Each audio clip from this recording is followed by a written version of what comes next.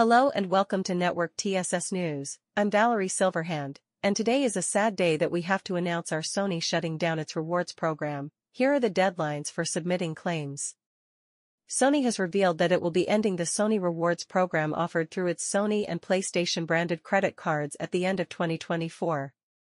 In an updated FAQ page, the Sony Rewards website and mobile application will shut down on December 31, 2024. Users have until then to redeem any points and access their account, as well as submit any bonus points and purchase credit request forms through the app. However, after July 21, users will no longer be able to mail in physical bonus points or purchase credit request forms. The rewards program isn't to be confused with the PlayStation Stars program, which is PlayStation's loyalty and digital collectibles program.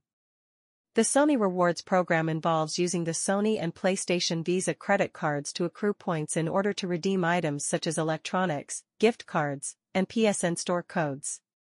The PlayStation credit card was first introduced in 2017. Microsoft recently introduced the Xbox credit card last year with MasterCard, which recently became available to everyone outside of Xbox's Insider program.